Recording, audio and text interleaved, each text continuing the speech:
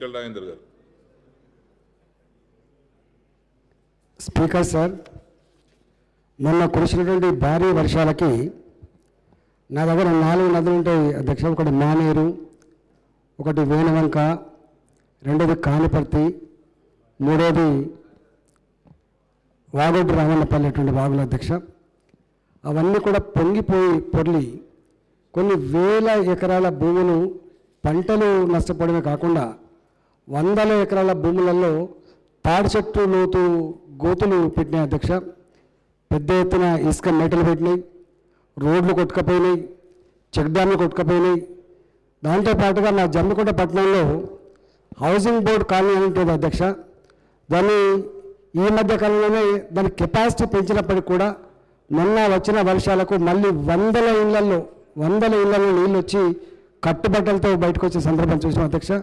అధ్యక్ష ఈ తెగిపడ్డ చెక్ డ్యామ్లు కానీ తెగిపోయిన కలవల ప్రాజెక్టు కానీ అదేవిధంగా ఈ తాడి చెట్టు లోతు గోతులు పడ్డ పంట పొలాలకి ప్రభుత్వం తక్షణమే వాళ్ళకి మళ్ళీ రెస్టోర్ చేసుకోవడానికి ఆర్థిక సహాయాన్ని ప్రకటించి ఎస్టిమేట్ వేసి ఆర్థిక సహాయాన్ని ప్రకటించాలని చెప్పి వెంటనే మళ్ళీ వచ్చే వ్యవసాయానికి వ్యవసాయం చేసుకునే పరిస్థితి రావాలని చెప్పి తన ద్వారా ప్రభుత్వానికి విజ్ఞప్తి చేస్తున్నారు అధ్యక్ష.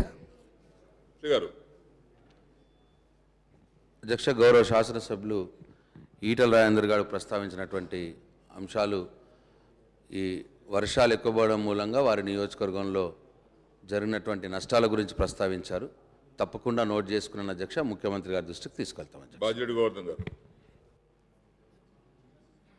అధ్యక్ష సార్ ఇప్పుడు నేను చెప్పే విషయం దివ్యాంగుల గురించి సార్.